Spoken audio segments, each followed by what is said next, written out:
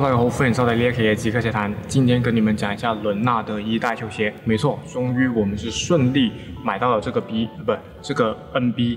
球鞋在开始讲鞋子之前，不得不先吐槽一下 New Balance 的发售形式。我翻看了一下记录，最早是在八月底已经进行过一次首发配色那个 Four Bounces 配色的发售了，当时是限量发售。而在发售完之后，那双鞋子的价格马上飙高的非常厉害。反正至少我自己是觉得没有任何必要去尝试的。在十一月份，终于是等到了这双鞋子的大货发售，一下子发了好几个配色，在官网是能够买到的。那我们换一个角度来讲，假如我是一个品牌好不容易签了屏幕前优秀的你，那我一定是希望你的第一双球鞋会引起轰动，对不对？至少希望会是一个大新闻，会有很多人知道。所以搞一些什么组合发售啊、限量发售等等的都可以理解。但是我觉得九月份、十月份大货得跟上吧，其他普通配色得跟上吧，不然的话，普通的消费者想去尝试的消费者怎么去支持你这个品牌呢？其实我也不是一口咬定它就是饥饿营销之类的，也，也许是因为所有的篮球鞋模具都是新的，需要一定时间去调整，那也是能够理解。但是作为普通消费者来说，希望下一次限量是限量，普通的配色还是要跟上的。吐槽完之后啊，还是要跟大家讲一下这双原价幺三九九，并且现在也没有什么折扣价的球鞋伦纳德一代到底怎么样？那我会根据如果你拿到这双鞋子，你能够体验到的一系列流程来跟你们讲一下，让你们感受一下拿到这双鞋子是什么样的体验。一开始我们毫无疑问啊，会先拿到鞋盒。这一次伦纳德一代采用的是白色为基调，看上去非常简约的鞋盒啊。这一种设计似乎似乎在上一周库里八代以及库里八代里面提过的哈登四代都有点点类似，只能说它比较耐看。但其实也有一些小细节在里面。首先最上面就毫无疑问是黑色的 New Balance logo，再加上伦纳德自己的签名。在鞋盒中下方还有一句标语，在这句标语的部分，就是整个鞋盒的下半部分，其实是有一个暗纹的。这个暗纹其实就是整个伦纳德一代的设计语言。打开鞋盒之后，还能看到一些标识，在说明这是伦纳德自己的第一双球鞋，然后名字叫做 The Kawaii。总体来说，我觉得就是一个比较正常水平的。签名鞋的开箱体验不能说很惊喜，也不能说很糟糕。打开鞋盒之后呢，毫无疑问我们会拿起鞋子进行把玩，我就会发现这双鞋子其实上面有非常多种材质啊。一拿到手上之后，确实会给我一种整双球鞋非常扎实的感觉。确实不愧是不同品牌或者说是 New Balance 做出来的东西，感觉是好几种材质的混合运用，包括鞋头这一块皮质上面还有双层的缝线，看起来就非常的扎实。鞋领口采用的是麂皮的材料，鞋面其他部分。就是热熔和织物的混合运用，我也尝试过去做一些功课，去网上查一下关于这双鞋子的一些资料，能拿到的准确的说明其实不多，但是在官方的说明里面，我也追溯到一些有趣的故事，比如说伦纳德自己已经身家过亿了吧。还开着一辆非常破旧的、很老很老的雪佛兰，叫做 Tahoe，应该是这个发音啊。反正就是一辆非常老的雪佛兰的 SUV。那个是伦纳德的父亲在伦纳德刚拿到驾照的时候送他的一辆座驾，就所以至今伦纳德还是有开这辆车，说明亲情对于他来说真的非常非常重要。有关于伦纳德以及他的父亲，就是他已过世的父亲的一些故事，就不在这里展开讲了。如果大家有兴趣的话，或者说你想去了解一下。伦纳德为什么会这么面瘫，像个机器人一样？你就可以自己去搜索一下相关的故事。还是挺感人的。这边回到鞋子上面啊，虽然从那个官方说明上啊，我并不能够感受到这双汽车有哪些元素是参考了雪佛兰汽车的尾灯的。说是前面这个鞋带口啊，但是我也没有感觉到哪里像了。总之是有这么一个灵感。再说一下这个鞋子的配色，黑白色为主调，然后用了红蓝配色作为鸳鸯。两只鞋子其实是有一些不一样的，基本上呢就是红蓝色的对调。这个红蓝色的灵感，我觉得有两种可能，一是伦纳德目前。所在的快船队配色球服的配色就是有红色跟蓝色的。那第二种可能呢，就又扯回刚刚那个雪佛兰的 SUV，那款 SUV 的型号是有做过警车的。那众所周知啊，警车的灯是有红色跟蓝色的，所以其实把非常显眼的红色、蓝色放在后跟，也确实有那么一点点尾灯的味道。但这个也完完全全是我个人的推测而已，大家也可以发挥自己的想象力。那要讲这双鞋子的外观的时候，就完全脱离不开它这个鞋面的。元素了。这个纹路真的有非常多的说法，呃，有查到说是像指纹的，有一个说是像什么图灵斑图的，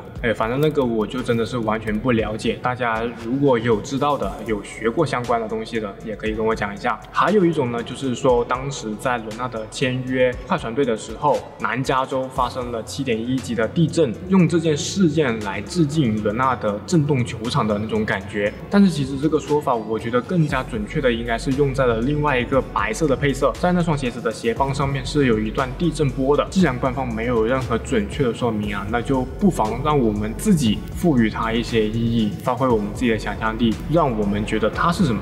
那就是什么？这个元素不仅仅是出现在了鞋身的两侧，还出现在了鞋舌，甚至是鞋舌上这个卡哇伊的字样里面也有这个纹路的暗纹。再包括整个鞋子的外底，其实也采用了同样的元素。所以这就是这双鞋子的一个设计语言了。拿到手之后啊，除了看整双鞋子以外，还会做什么呢？有穿过之前那双 Omnis 的朋友，一定会去做一件事情，就是捏一下它的后跟。没错，这一次终于后跟是比较给力了，不用担心。其次就是这双鞋子拿在手上那种感觉啊，就不算是一双非常轻质的球鞋。单只四四码是四百六十克左右，对于一双中帮鞋来说还算可以吧，能够接受，不会非常非常重。毕竟它的用料还是挺扎实的。那这双鞋子的颜值，你们来给它打个分。我个人是非常喜欢这一个配色的，相较于我平时喜欢的纯白啊，因为它这一次的纯白配色好像没有我那么好看。但是这个黑白色调，然后再加上红蓝点缀的配色，我挺喜欢的，上脚也觉得挺好看。好了，拿在手上逼逼了那么多，还是要跟大家讲一下它上脚的第一感受。一穿上去，我的第一感觉就是。哇，它前掌的包裹真的非常非常紧，紧到有一点点太变态了的感觉，并且整个鞋子我觉得缺少了一些柔软，也就是说它的宽容度并不高。如果是宽脚的朋友，基本上可以说是劝退了。连我这种瘦脚都能感觉到前掌是非常紧实的，并且它上下的空间也不会很多。第一次上脚的时候，其实前面紧到我有一点点难受，所以我有尝试过将鞋带放松一点点，但是我会发现整个鞋子其实算是一个内靴的设计，前。掌无论你将鞋带放得多松，它基本上都没有什么改变。你感受到的非常紧的包裹，其实是来自于它的内靴的。反正就是没得救了。中间的包裹就很正常，比较优秀。而值得一提的是，它的足弓处其实有明显的凸起，能够感受到一点支撑。我自己的话是正常足弓。其实测这么多鞋子以来，我对足弓的支撑没有太多的要求，所以你们很少很少会听到我说一下这双鞋子的。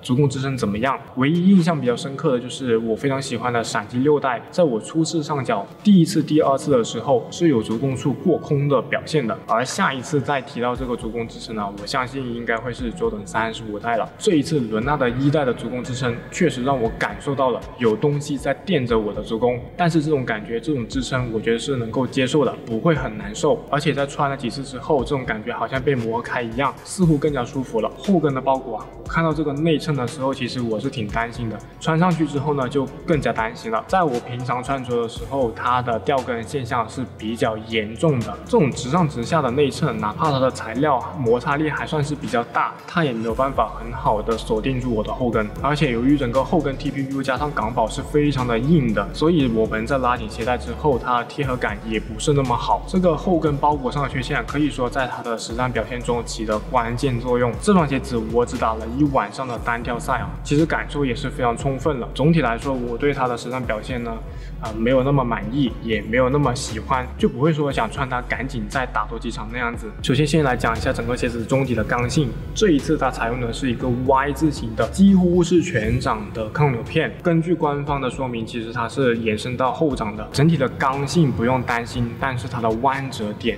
并不是特别正常，并不会很好的引导在前掌这个问题，一会儿再跟大家说明。整双鞋子的刚性你不用太担心啊，哪怕我那天晚上打的是比较养生的单挑，我也特地试过去做一些身体对抗。那穿它进行对抗的结果呢，就是球被盖了。虽然被盖了，但是这双鞋子在稳定性啊、刚性上面还是挺 OK。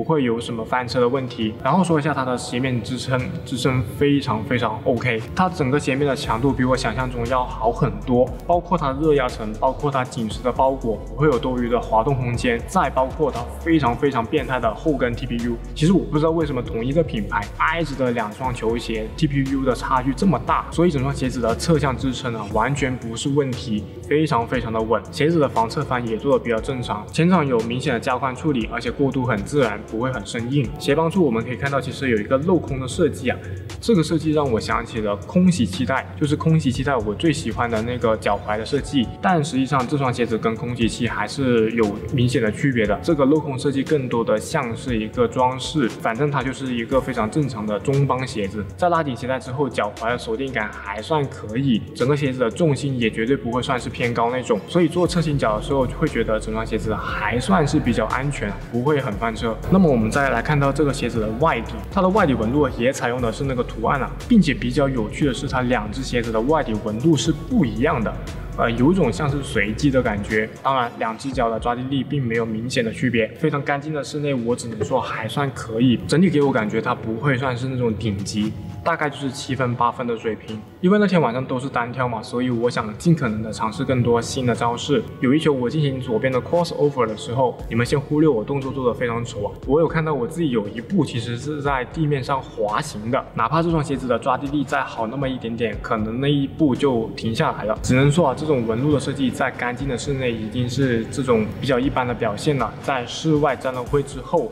也许会更加一般，反而我觉得它做起一些旋转来脚步的时候是挺顺滑的啊，整个脚步非常流畅。中底缓震采用的是跟 Omnis 一样的全掌 Feel Cell。关于鞋后跟这块蓝色的橡胶，其实官方也没有任何特别的说明，应该大概率啊就是 Feel Cell 了，只是为了视觉效果，所以做成了颜色不一样而已。那么在上脚之后呢，就会觉得前掌比较贴地啊，基本上没有什么脚感，你也感受不到什么软弹。后掌材料用力去踩一踩的话，还是能够感觉到一点。软弹实战起来，其实我觉得缓震上不会有太大的问题。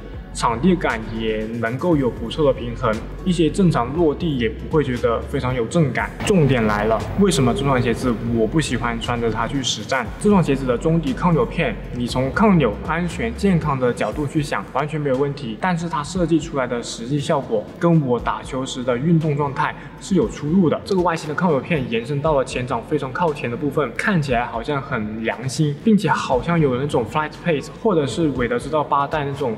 异形抗扭片带来的弹射感一样，但实际上它的效果并不好。重点就在于前面讲过的，整个前掌的弯折并不自然，而且中间的强度反而没有前掌那么可观。在进行弯折的时候，它的弯折点已经到了中间的部分，相信你们刚刚也已经有疑惑了。而在前掌需要弯折的点基本上没有体现出来，这种弯折点会出现什么问题？在整个单跳的过程中，虽然是比较养生，我也没有发狠狠的力，但是能够看到我大部分脚步。前掌基本上是不怎么弯折的，这就会让我的脚步非常不自然啊！整个鞋子就像一块板一样，不听我的使唤，它想怎么走就怎么走，并不是我想怎么走就怎么走，这就导致这双鞋子并不适合养生篮球。你的前掌需要很有力量才能够让它给到你反馈，自己的脚掌才能够进行正常的弯折。这里或许就会有人说，哇，你自己打球不发力还要挂鞋子？整个晚上的单挑一定会有一些关键球的，我一定是会有部分球是发力的，在我发力的时候。确实能够征服鞋子的前掌，但是另外一个问题又出现了，在我前掌发力弯折的时候，它后跟的不跟脚就变得更加明显了。这就像是一个非常非常致命的组合啊！前掌太板难以弯折，后跟又不怎么跟脚，这听起来真的让我想起了 Alpha Dunk。也别说我没有想办法去调整过后跟的跟脚性，我试过将最上面一排鞋带口啊更换不同的绑法，确实在更换之后有一点点改善，但是只要我的发力越狠。它的不跟脚就越明显，所以根据一场球下来的体验，这双鞋子似乎是想让你全力去发挥自己的实力。它这种兼具弹射感以及稳定性的抗扭片，并不是让你穿着去打养生篮球的。但是它自己的跟脚性做的又不是那么到位，让我觉得这双鞋子不去磨合的话，真的。非常难搞。总结一下，我觉得这双鞋子其实是值得慢慢去品味的。我觉得更加适合收藏家。作为一双篮球鞋来说，它还算是比较有质感，看起来、摸起来、穿起来似乎都不会像现在一些球鞋那样子那么浮躁。但是如果是实战党来说啊，先说它的价格，幺三九九的原价，我相信已经能够买到非常非常多顶级的球鞋了。你绝对不会选择它，哪怕哪怕你真的不缺钱，愿意现在花幺三九九去买这双球鞋，或者说你愿意去等待，等待过个半年。再去以一个非常好的折扣价去入手这双球鞋，那你也必须满足两个条件：第一，你的前掌非常非常瘦，能够接受这种接近变态级别的前掌包裹；第二，是你的跟腱不会像我一样那么细，也就是你的脚踝部分是要比较多肉啊，或者是比较粗的，这样子你的后跟才有不错的跟脚性。我不确定会不会有同时满足这两个条件的人存在啊？如果有的话，或许你是天选之子。哦，对了，还有第三个，你不能是低足弓，如果是低足弓的话，它它的足弓支撑可能会有一点点过度。三个条件之后，你还需要花一段时间去磨合这双球鞋，让整个鞋子的前掌变得更加容易弯折，让整个鞋子的皮面更加柔软，听起来就真的好折腾。这真的是一个艺术品啊，就不是一双。能够穿去随意实战的球鞋，所以其实更准确来说，它可以实战，我也可以驾驭它。在穿几场之后，遇到强劲的对手，我也能穿它有不错的表现。但是或许我自己而言，我并不会那么有耐心去买一双这么昂贵的球鞋进行那么长时间的磨合，因为在这个市场里面有更加多很好的选择。除非我是伦纳德的球迷，不然的话，这双鞋子对我来说没有任何说服力。最后也非常欢迎大家在评论或者是弹幕里面跟我讨论一下这种。修仙，你们是什么看法？这期节目就到这里全部结束了，我们下期再见，拜拜。